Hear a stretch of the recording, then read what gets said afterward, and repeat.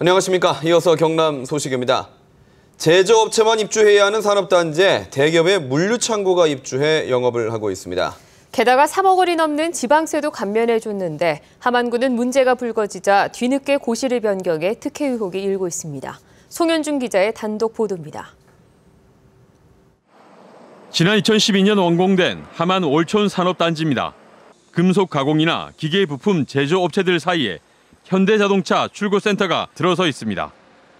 3만 7천 제곱미터 규모로 경남에 판매되는 현대자동차는 모두 이 출고센터를 거칩니다. 하지만 당초 함안군이 고시한 월촌 산업단지 유치업종 배치 계획엔 금속 가공 제품과 전기 장비 등 모두 제조업만 입주가 가능하다고 되어 있습니다. 그럼 어떻게 제조업이 아닌 출고센터가 산업단지에 입주할 수 있었을까?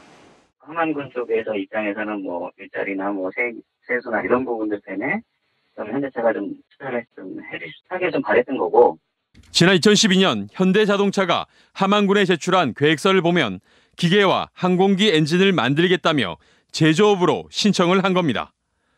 함안군도 현대자동차가 사실 출고장으로 사용할 것을 알면서도 대기업 유치란 명목으로 묵인했습니다. 망치도 빨리 결정 안 해주면 우리는 오라고 하는 데가 있으니까 그런 데 가겠다. 사실은 그 현대차에 자기 일정에 맞춰서 우리가 일을 처리했다라고 이렇게 보시면 됩니다. 사실.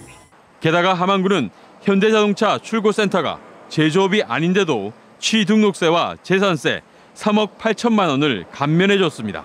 함안군은 현대자동차 출고센터가 입주한 지 2년이 지난 올해 관련 고시를 변경해 특혜 의혹까지 사고 있습니다.